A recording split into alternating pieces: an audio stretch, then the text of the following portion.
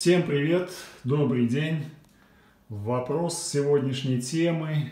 Что делать, чтобы не сгнила столешница? Мы ее заменили, она у нас вот такая вот большая. А сгнила она, естественно, здесь под умывальником. В основном вот в этой части. Почему? Потому что манжеты, которые резинки не своевременно менялись, пропускали воду, напитывалась, опилки напитывались и все сгнило.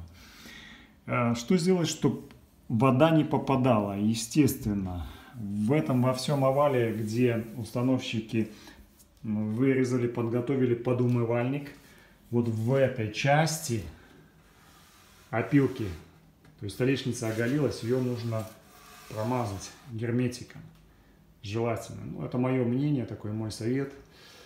И столешница будет служить дольше. Всем счастливо, всех благодарю, успехов, до свидания.